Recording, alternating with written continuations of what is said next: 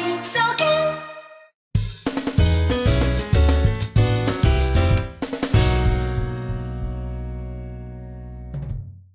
はい、えー、こんにちは。1月の10日木曜日の株と為替の売買シナリオでございます。えー、現在が3時27分、えー、20秒になった時間帯というところでございます。えー、さて、本日でございますけども、今日の午前9時、えー、寄り付きに合わせてでございます。日本テレビさんに出演させていただきました。ちょっとこちらの方を持っているんですけども、えー、まあ、内容の方は、えー、日本テレビさんのホームページ、えー、ご覧になっていただければというふうにして思います。で、まあ、どういったコメントしたのかというところは、まあ、力也の FX 道場ブログのところであったり、ツイッター、マーケットポイントで、ちょっとご案内させていただきましたけども、トランプ大統領におけます。昨日テレビ演説もございましたけども、壁の建設の意欲が強調されたまま、そして民主党、共和党、えー、そそれぞれ、まあ、民主党の、まあ、院内総務、えー、そして、まあ、下院の議長さん、それぞれ、えー、会談したんですけども、無駄な時間だと、時間の無駄だと言って階段の途中で退席したというような話。えー、ただし、こうしたところで連邦政府の、えー、機関が閉鎖されていることに対して、じゃあ一体具体的にどういった影響があるのかというのは、ニューヨーク市場関係者と話をしていても、えー、FRB の幹部が、まあ、昨日はかなり講演会などあったんですけども、そうしたところでは一切触れなかったというのが印象的でございましたというのは僕ちょっと番組の中で申し上げました。えー、まあそうした状況の中では、まあ非常に政治に突き動かされると言っても、そうした話がが出なければマーケットかなりなぎなんだなというのをちょっと改めて知らしめされたような状況。そして、え本日の午前10時でございますけれども、韓国のムンジェイン大統領、え今、日韓問題非常にですね、問題が山積されているような状況で、まあ、これもちょっと、え番組内で申し上げましたが、えー、今日は北朝鮮との共同事業に関しての発言をなさったというところで、日韓問題にはほとんど触れずというところで、関連銘柄の方への影響だとか、えー、さらにはリスクが先鋭化していって極東地政学リスクにまで膨らんでいくということにも至らなかったというところでございました。えー、ちなみに今日はちょっと私、これ番組内でちょっと失言、冒頭に失言をいたしまして、非常につまらないマーケット展開だというふうにちょっと申し上げてしまったんですけども、結果としてでございます。えー、中での、えー、時間級の協議というのも、通商協議というのも、まあ、明確にですね、えー、進捗が示されるというような状況でございませんでしたので、じわじわと、やはり日経平均株価の方も下押しになってしまったのかなというところでは、ネットトレーダーウェーブ2ちょっとご覧になっていただければと思います。えー、寄り付きのところからやはりずっと下がっていってしまったというところでございました。で、最終的にでございますけれども、えー、2万トンで200円近方からほとんど横ばいのような水準になってしまったというところでございます。で、ドル円の方でございますけど、今日は5等日ということで、中値の堅調性がちょっと期待されていたんですが、中値が終わったこの中値需給の剥落後に、一部米系とおぼしき、えー、まあ、インターバンク市場から聞こえてまいりましたけど、ドル売りがぐーっと持ち込まれたというところで、現時点は107円の94銭水準、要は108円台が割れてしまったというところなんですが、そこからそれ以上、おまあ、ドル安円高ないしは逆にドル高円安にも進まずというところで、107円の90銭水準、90銭台のところでほとんどこちらの方も横ばいになってたというところでございます。えー、現時点におきましては、日経平均株価の方は2万トンで163円で大引けとなりましたが、えー、プレミアムが乗っかっております東京金融取引クリック株365においては2万トンで210円水準というところでございます。さて、で、番組内のところでは一切触れませんでしたが、週末には、えー、日経225の S q を控えております。で、いつもご案内させていただいておりますけれども、当社の取引画面内でも見れますが、今日はちょっと思いっきり拡大いたしまして、ぜひご覧になっていただければというふうに思いますが、えー、今週末 S q でございますけれども、えー、もうちょっと引いた方が逆にちょっと大きすぎて見づらいかもしれませんが、さて何を申し上げたいのかというところでございますが、ロールオーバーも進んでいるんだとは思いますが、2万トンで500円のえー、プットの出来高が7000枚まで膨らんできたと。2万トンで500円ですね。7000枚まで膨らんでいる。で、その上下のところも3000枚、4000枚というふうにして膨れておりますので、ロングもしくはショートのストラングル形成なのかなというふうにして、おぼしき逆側、プットのところで見ますと、今度はこちらでございます。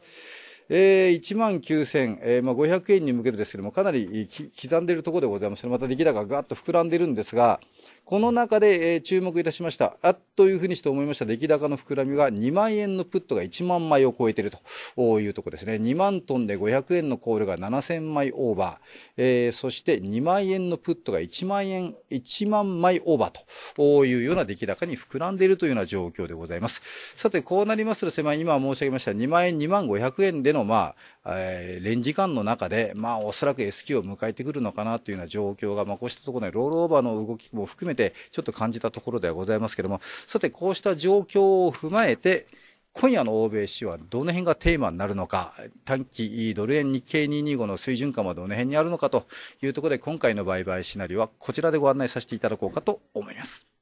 ドル円からでございます。ドル円は107円の80銭から108円の20銭という予想レンジの中で、まあ、様子見でもいいのかなというふうにして正直思ったところでございますけども、えー、上下、えー、それぞれ売り買い待機と、様子見ないし売り買い待機というような形でのスタンスをさせていただきました。A 案の方は7の80で買って8の20で売る、えー、40銭幅狙いで、アゲンストが107円の40銭ということで、えー、狙いが40銭幅でして、リスクも40銭幅と、40銭1と。で、7の40というところにしたのは、1月の4日、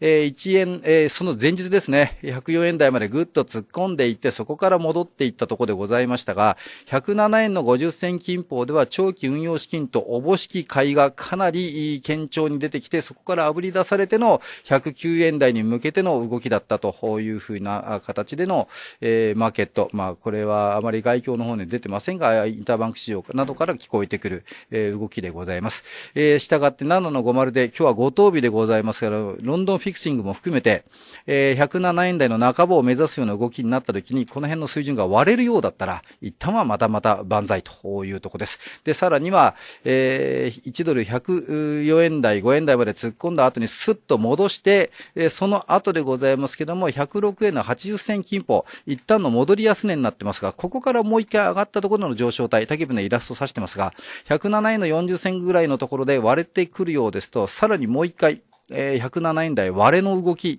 強まってくるかもしれません。えー、そうしたところも踏まえての、えー、この辺の水準、えー、買った場合でのエグジットラインというふうにしてさせていただきました。で、一方で売りの方でございますけども、B 案、108円の20銭で売って、えー、買い戻し、107円の90銭、えー、30銭幅狙いでアゲンスト108円の50銭ということで、こちらの方は30銭幅狙いの30銭リスクと、えー、ちょっと、こちらの方は浅めにさせていただいたんですが、理由が、えー、まあ正直な話、米国の経済指標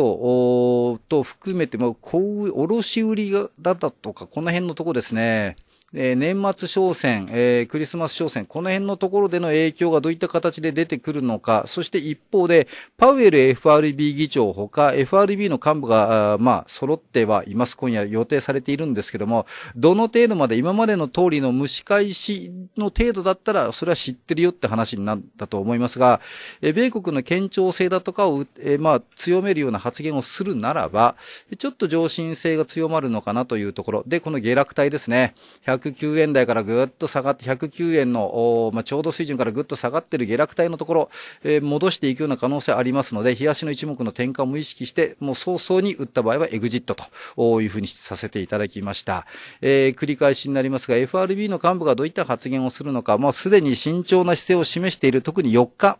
えの講演で今後の利上げに慎重には非常に取れる、まあ見て取れるような姿勢をパウエル議長ご自身がしてらっしゃいますので、そのまあ慎重姿勢をさらに繰り返して印象づけるような言い方をするならば、米株は上昇するかもしれませんが、ドルの方は難聴。えー、ちなみに、ちなみに前、えー、昨日でございますが、ドルは全面安になっておりますので、えー、そうした動きがさらに強まってくるのかどうか、ご発言は一応ご注意というところかと思います。ただし、まあ、いずれにしてもですね、今夜、またメキシコの国境の壁の建設だとかというのを、まあ、ずっと訴えていた中で、今日はまたまたメキシコ国境をトランプ大統領が訪問するというような報道出ておりますので、えー、まあ、ドル、ブルになるのか、ドルベア、えー、まあ、ブルになるのか、ベアになるのか、ちょっとこの辺はですね、マーケットの需給と合わせて、まあ、投機的な仕掛けが出てくる可能性ございますので、上下双方向、まるでもう日銀の黒田総裁みたいでございますけども、上下双方向のリスクを意識せざるを得ないのかもしれませんが、動きの方は極めてタイトなんではないかなというところの読みでございます。で、非常に難しいのは、繰り返しになりますが、連邦政府の閉鎖が長期する可能性、これが、まあ、どういった形でマーケットを咀嚼するのか、えー、繰り返し、これも繰り返しになりますが、ニューヨーク市場関係者かなり慣れっこになってますので、えー、東京我々市場参加者としては、ちょっょっと考えられないようなところではございますけども、温度差があるというところ、この辺をちょっと、まあ、見てですね、取引画面内でのヘッドラインニュース、ご注意していただくというところでご案内させていただきたいと思います。日経225でございます。繰り返しになります。こちらも繰り返しです。今日はいっぱい繰り返してますが、日経225東京金融取引所クリック株365は2万トンで210円20円水準というところでございます。で、今回の予想レンジでございますけども、えー、様子見、やはり売り買い待機というところで、こちらの方も売り買い待機ですが、様子見でもいいんではないかなというところで、2万トンで150円から2万トンで400円のレンジです。えー、そして予想レンジの中で A 案は2万トンで150円で買って300円で売る、150円幅狙い、アゲンスト2万トンで50円ということで100円リスクでございます。150円幅狙いの100円リスク。一方で売りの方ですが、B 案2万トンで400円で売って、250円で買い戻し、150円幅狙い。で、アゲンストも2万トンで500円ということで、こちらの方も150円幅狙いの100円リスクというところで勘案いたしました。えー、で、本日の東京市場、日経平均株価の方でございますが、5周値のところで下落してしまったというところなんですが、ちょっと値下がりが1400超えていたというのがちょっと気になったところなんですが、ファーストリテリング、ここの9983、えー、マイナス強度としては42円強というところですので、この辺がちょっと影響しているのかなというところだと思います。あとはソフトバングループ9984もこれも32円強。ユニーファミマも20円強ですかね。8028。えー、カオ1574、ファナック6954。これもだいたい15円幅ぐらいのマイナス強度となってますので、まあちょっとそうしたところでの、まあポジションの縮小というんでしょうかね。この辺が、えー、マイナス強度として働いてしまった。えー、ただし、ここもちょっと気になるんですけども、業種別では7、7業種しか上がらなかったというところ、これ7業種も上がったという言い方になるんでしょうかね。ちょっとそうしたところではやはり、え原油価格の上昇だとかっていうふうにしてなっているにもかかわらず、石油石炭、え化学ケミカル、この辺がちょっと値下がり上位になってしまったというところでございますので、ファンダメンタルズだとか環境というよりもやはりテクニカル的な調整感が強まっている、気迷いのマーケットなのかなというのをちょっと改めて感じましたので、強気と見るわけにもいかず、弱気と見るわけにもいかずというところが、日経平均株価の動向でもちょっと感じられたのかなというところが本日東京市場での振り返り。で、これが今夜、えー、米国市場でどういった影響を与えるのか、その辺もちょっと一応チェックいただければというふうにして思います。朝方でございますけども、まあ、この辺が、まあ、非常に雑談ベースのところでございますけど、アマゾンの創業者が、まあ、これ、まあ、マーケットと直接関係ないのかもしれませんが、離婚なされるというところで、この辺の慰謝料のところも含めて、個別銘柄に影響するのかどうか、そういった話題もちょっと出ておりました。えー、まあ、そうした状況の中では、ちょっとニューヨーク市場関係者もそうした雑談から先に入ってくるというところが今、ニューヨーク市場のセンチメントなのかもしれません。えー、上下双方向、繰り返しになりますが、リスク管理の十分ご注意していただいてお取り組みいただければというふうにして思います。以上、1月の10日木曜日の株と為替の売買シナリオでございました。